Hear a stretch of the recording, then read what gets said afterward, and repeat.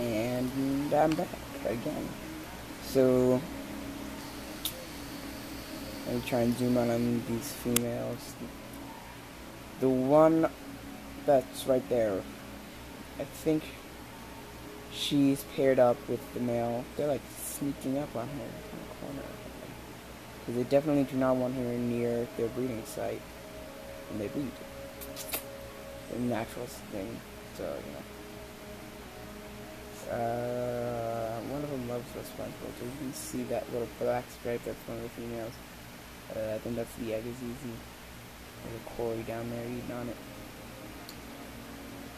Corys do not get baby tears or like glosso or whatever it's called or mm, like the foreground plants uh, that aren't hardy.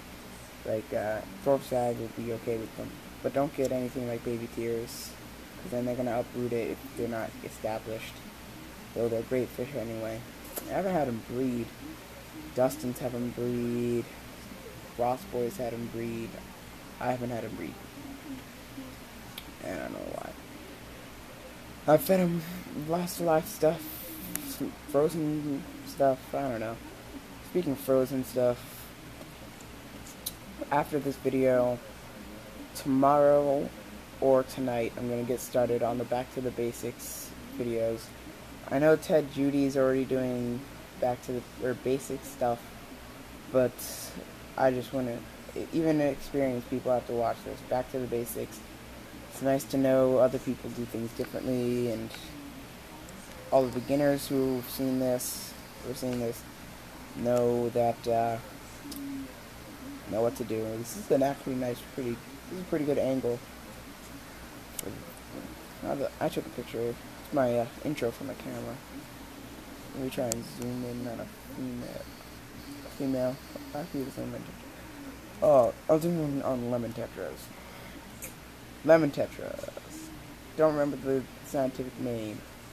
Uh, po I might post it or not. Uh, sim begin definitely beginner. Almost all tetras are beginners. They're very forgiving. Uh, they like uh, regular tropical fish water 75 degrees to 80 degrees. If you want to breed them, make it slowly go up, and uh, they should breed in the morning if you put a pair in. Females are a lot, uh, a lot uh, stockier, maybe because you know the eggs and stuff. Uh, so not really that much that gender difference, because they're tetras. Most tetras don't have that big of a uh, gender difference. Mm, so that's pretty much it. pH, low pH for tetras. All tetras love pH below 7.0. Uh, including the Neon Tetra, true classic. Uh, same, pretty much same care as lemon tetras. Uh, they get smaller, so make sure you don't keep them with anything bigger than an angelfish. Angelfish might actually eat them if they get big enough, but nothing bigger than a medium-sized angelfish, because then they'll get eaten. Like, don't put them with, uh, don't put them with firemouths that, you know, are gonna get too big. Like, I put them with my grandma's firemouths, they got eaten, or died and got eaten, I don't know. I don't really care. I'll just tell her to get some angels or something. Um, uh, what else? What else? What else? What else? Tetras. Breeding is simple, but kind of annoying because they're going to eat their eggs. Kind of weird, right? Uh, pretty much it. Later tomorrow I will start, later tonight or tomorrow I will start the back to basics.